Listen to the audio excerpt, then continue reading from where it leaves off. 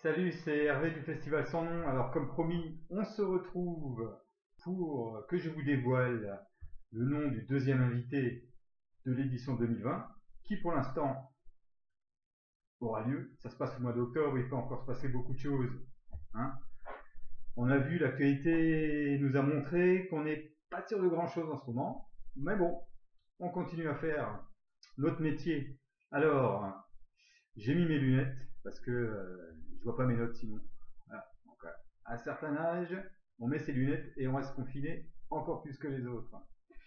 J'ai toujours mon affiche de 2018, comme vous voyez. Alors j'ai rajouté un marque-page 2019. Ah, voilà, c'est un peu plus, un peu plus actuel. Et regardez bien, un badge de la toute première édition du festival. Pas mal, hein Donc euh, les décors sont de plus en plus grandioses. Les costumes, Bourbon Kid, ah, ah, Donald Cardwell, ah, pas mal, hein Bourbon Kid, bah, pourquoi Bourbon Kid? Bah, Ceux qui sont au fait du polar le savent. Un bon, t-shirt, il a, a vécu, hein. excusez-moi. Mais Bourbon Kid, je vais vous expliquer pourquoi tout à l'heure. Alors, avant de vous révéler le nom de ce deuxième invité, euh, pourquoi Festival sans nom? Ah, ça c'est une question qu'on nous pose souvent. Eh ben, Festival sans nom, parce que Libre Sang, édité chez Sonatine il y a quelques années maintenant, il a connu euh, le succès euh, via Internet. Pas de nom, pas de nom d'auteur, c'est toujours un mystère. Il y a eu plusieurs bouquins qui sont sortis depuis, mais on ne sait toujours pas qui c'est.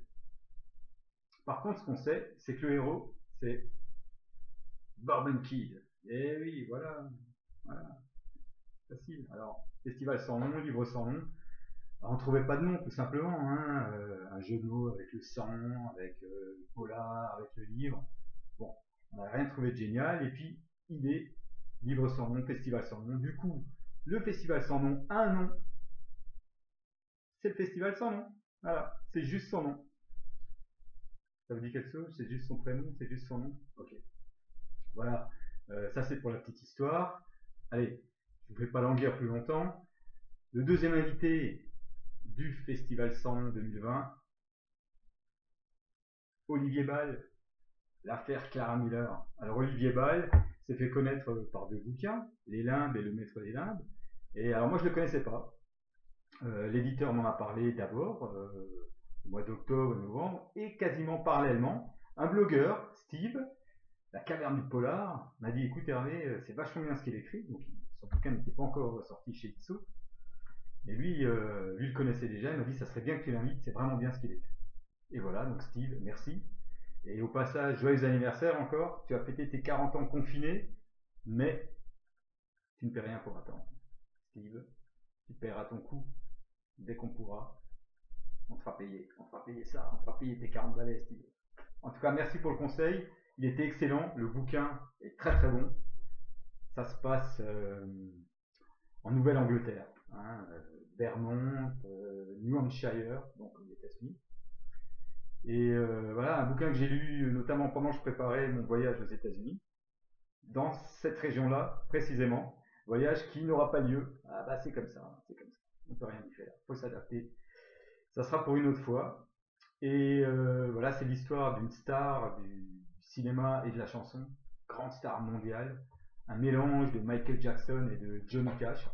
Moi, je l'ai interprété comme ça, qui vit dans une euh, propriété à l'égal de celle de euh, de Michael Jackson qui s'appelait Neverland, cloîtré, avec ses deux enfants hein, quand il n'est pas en tournée. Et à côté, pas loin, il y a un lac qu'on appelle le lac aux suicidés où régulièrement des jeunes femmes euh, sont retrouvées mortes. Alors, y a-t-il un lien entre le lac aux suicidés et Mike Stills, cette star du rock?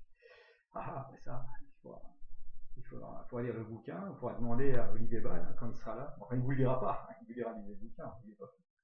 Il n'est pas fou, Olivier Ball, mais euh, on aura certainement plein de questions à lui poser. Et donc, euh, un journaliste, Paul Green, journaliste euh, qui écrit dans un, dans un tabloïd, qui ressemble pas à grand chose, mais qui est tenace, obstiné, qui connaissait Clara Miller, et donc qui lui doit quelque chose. Donc euh, il, va, essayer de savoir ce qui se passe exactement derrière ces murs. Voilà, voilà, c'est à peu près tout. Hein. Donc, euh, notre, deuxième invité, vous le connaissez désormais. Bah, j'espère que ça vous plaît. Vous êtes excité à l'idée de le rencontrer aussi. Et, voilà. Donc, euh, on se retrouve, bon, on se retrouve, je sais pas moi, dans quelques jours. On vous présentera un troisième invité. Je vous présenterai un troisième invité. Bah, ce sera une femme. Hein. on va alterner homme-femme. pour l'instant, on est à parité parité totale dans, nos invitations, qui sont un petit peu en suspens, hein, vous l'avez compris, mais on est bien avancé quand même. Et euh, ben, en attendant, je souhaite euh, de passer du bon temps, peut-être avec euh, Power Kid, euh, ça voilà, buvez un petit verre, pas trop, mais buvez un petit verre pour vous détendre, lisez, faites des choses, et puis, ah, il y a toujours de quoi s'occuper. Hein. On trouve, on trouve, on trouve. Allez, il y a plein d'idées qui germent de partout. Portez-vous bien et à très bientôt.